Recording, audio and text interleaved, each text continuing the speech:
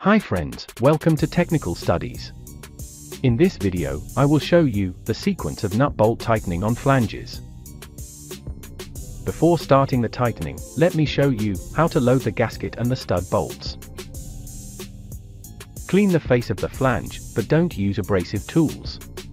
Check bolts threads are in good condition. Apply an approved lubricant on the bolts.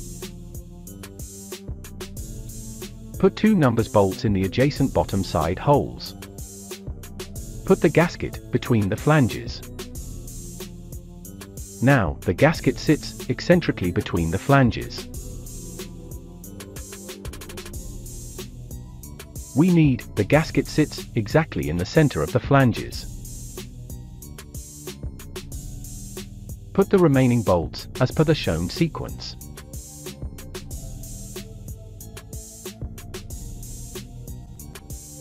Use a lever bar to align the holes and the outer face of the flanges. Now, lift the gasket to its position, you can use a piece of a welding rough.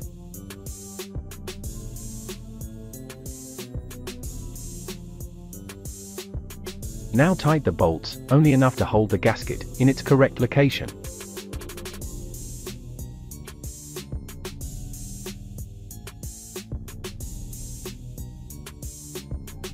Check the flange overlap minimum at 4 quarters, in case there is an overlap, distribute equally to all sides.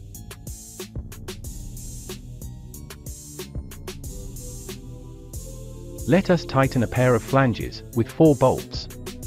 Draw rough lines, just, to divide the bolts into 4 equal numbers. To achieve the final torque, we need to tighten a single bolt 3 times.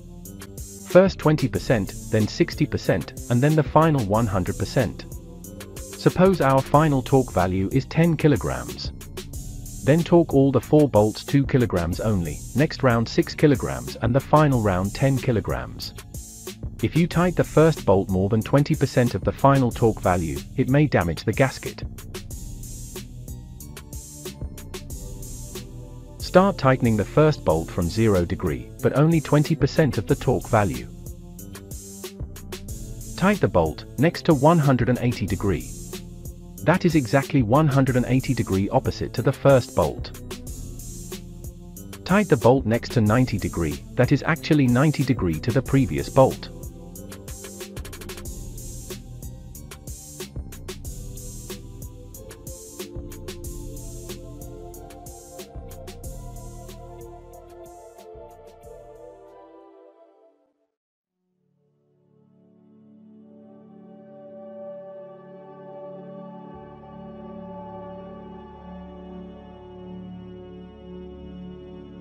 Let me show you something now.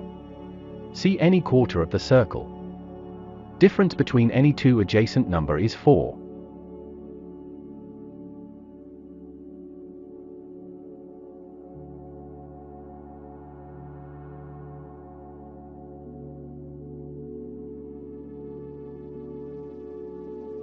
Check the next quarter. Now you don't have to refer any documents for bolt tightening. You can do it with simple calculations. For larger flanges, divide the bolts into 8 equal groups. Apply the same method. The difference between the two nearest holes will be 8. If you like this video, please subscribe and press the bell icon. Thank you, good day.